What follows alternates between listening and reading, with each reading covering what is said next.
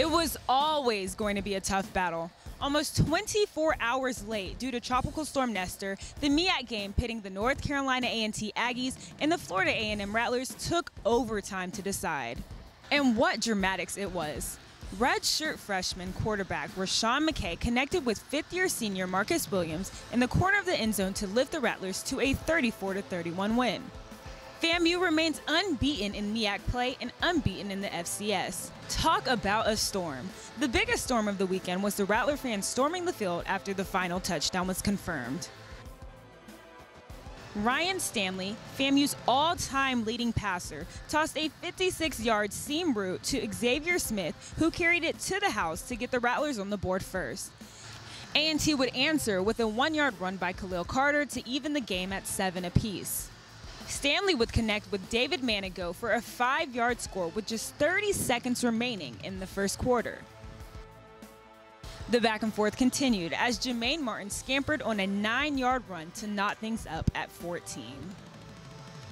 Coach Willie Simmons dialed up some trickery as running back Azinde Ray took a pitch and found Marcus Williams wide open to take a 21 14 lead. And all of that was just in the first half. In the third quarter, A&T struck first with a 26-yard field goal, closing the gap to 21 to 17. Terrell Jennings bowled his way into the end zone to extend FAMU's lead to 28 to 17.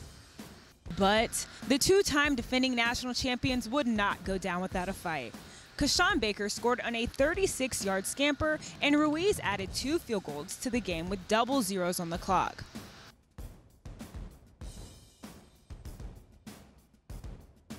With FAMU quarterback Riley Stanley sideline, McKay threw a back shoulder pass to Williams in the end zone to seal the win. To say it was a wild one in Tallahassee is the understatement of the year. Willie Simmons Rattlers are now 6 and 1 and 4 and 0 in the MEAC. They head up to Baltimore next week to face the Morgan State Bears. Washington and the Aggies will look to rebound next week as the Howard Bison visit Greensboro for GHO, the greatest homecoming on earth. Coach, you guys remain undefeated in conference play. How does that feel? Well, it feels really good. Um, the guys have played extremely hard. You know, we had a mission at the beginning of the season to show everyone, you know, that we're capable of being the best team in this conference.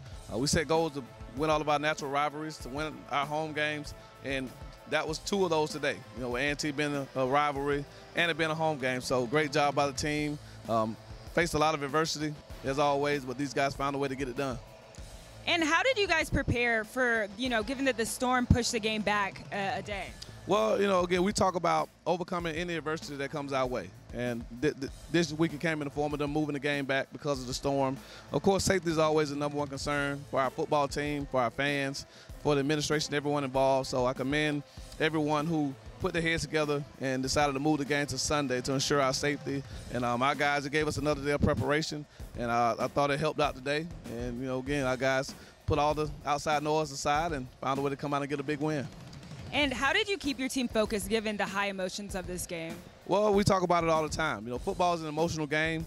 Uh, but it's played between the lines and between the whistles, and, and, it's all about what we do when it matters the most. You know, talking never wins a football game. You know, fighting off the field things never win football games. It's about the team that executes the best. It's about the team that stays together and plays 60 minutes of football to the end. And, and our team showed that today. You know, so again, you know, we'll we'll address the off the field antics because that's not indicative of who we are as a football team. You know, but in an emotional game, you have things like that sometimes. But again, we, we're happy to have the win, and we'll clean up the off the field stuff um, later on. On my very first broadcast for HBCU Game Day, I'm Corey Staples.